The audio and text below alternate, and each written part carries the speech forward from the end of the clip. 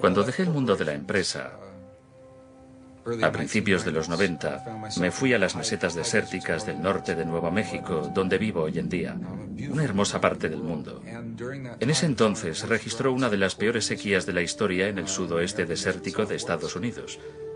Un amigo nativo me llamó un día y me dijo, Greg, ¿te gustaría reunirte conmigo en un lugar? Me encanta cómo lo dijo.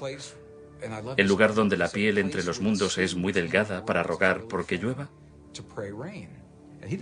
No tuvo que pedírmelo dos veces, así que quedamos en un sitio concreto y atravesamos a pie 55.000 hectáreas entre las más bellas salvias del desierto.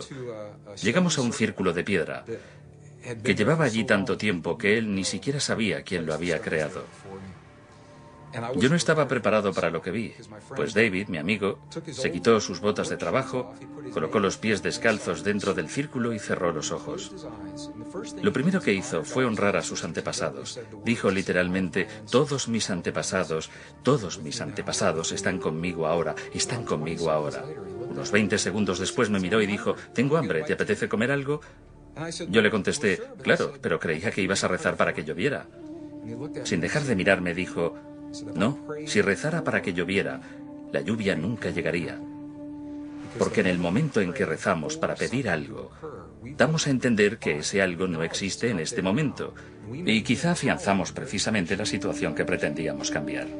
Entonces le pregunté, si no ha rogado para que llueva durante esos 20 segundos, ¿qué es lo que has hecho? Me dijo, al cerrar los ojos, he experimentado la sensación de estar de pie, descalzo, en el barro de nuestra aldea, un barro que está ahí porque ha llovido mucho. Y después dijo, he percibido el olor, el olor de las gotas de lluvia que resbalan por las paredes de barro de nuestra aldea. Y he percibido lo que se siente al correr a través de los campos llenos de unas plantas de maíz muy altas gracias a la lluvia. He expresado mi gratitud y mi reconocimiento por la lluvia que ya ha caído.